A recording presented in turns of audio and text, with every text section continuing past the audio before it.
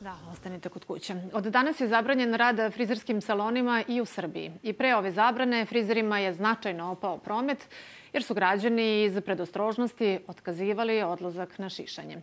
Upravo ta situacija pokrenula je na društvenim mrežama lavinu komičnih fotografija ljudi iz drugih zemalja koji su pokušali sami da se ošišaju.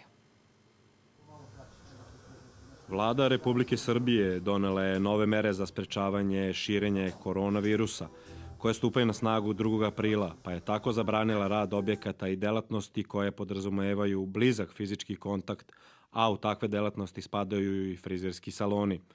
Kada je reč o šišanju, žene će verovatno moći da se strpe iz prostog razloga što se ređe šišaju, Međutim, sa kakvim se problemima one susreću i šta sve mogu same preduzeti u ovakvim situacijama, potražili smo savet frizera. Ja mislim da se negde najveć, u najvećem izazovu, da kažem ne problemu, e, javljaju e, žene koje imaju sed u kosu, e, to je taj sed izrastak, tako da bi savjetovala da sve žene koje inače idu kod frizera kontaktiraju svoje frizere, mislim da će svi biti radi da daju savete, da se stavlja neka, da se kupi neka određena boja koja će biti približan ton kao u normalnim uslovima i da se pregura ova situacija što pre.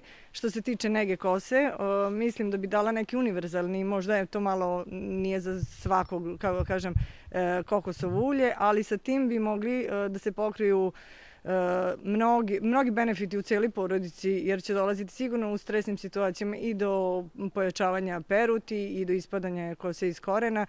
Muškarci su uglavnom navikli da se šišaju na svakih par nedelja i mnogi su nemajući drugog izbora probali da se sami kući ošišaju i ti pokušaji su se često završavali neuspešno, pa čak i komično. Se tiče muškaraca, zaista je nezahvalno ovaj, dati bilo kakav savet.